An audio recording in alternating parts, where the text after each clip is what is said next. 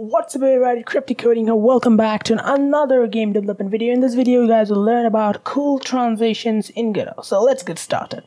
First, what you have to do is add a what's known as a color rect. This node here is a just a simple rectangle and we'll be animating them. So let's change the color of it to the black because we need a black. Now we want our our color rect to take the entire screen. Let's get started. Click on layout, full rect. As you can see, we have done it. Now what you need to do is add an animation player. Before we add an animation player, let's uh, let's go rename this to a fade in animation because we're just gonna rename this. Okay, just rename. Now let's add an animation player node. Sorry if you can hear the sounds. So as you can see, we have created the animation player node. Now click on the uh, click, on the fade in, click on the color, and to make the alpha value to zero. We don't want any alpha for now because when the animation starts, we don't want any value. So how we are gonna be able to see? So that's because we just take the alpha value, make it low. All right. So after that, what you need to do is click on the animation. Yes, I just forgot. So click on animation, click on new, say fade in. After that, what you have to do is click on the fade in animation. As you can see, there's a little key here. Click on this bad boy, click on create.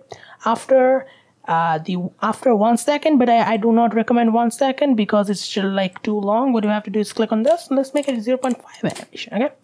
Now come over here and then let's add another one so click on this value make the alpha value 100 I mean 255 so then add one. As you can see we have a really nice animation okay? After this what, what, what we have to do is just click. Now it's time for the little bit hard part. So we, i'm going to be coding it with you. First we need to take in the fade in and also get the reference to the fade in and the animation player. So let's write on ready var uh, let's say fade let's see let's uh, um, i'm gonna make it a color rect or color rect object. Let's say fade in. Fade in fade in object. Man I can't type. So get get parent get parent get node. Let's say the fade in. Then same for the same for the animation player. So animation player object. So yep we just need to change this to fade in animation player.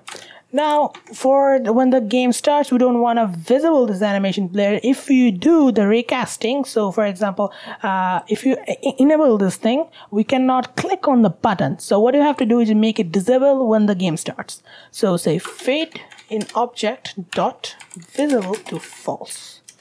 Next, what you have to do is on the on the play press, so we click on it. First, we need to do is fade in object dot visible to true. Now we don't have any problems because of course we just clicked on it.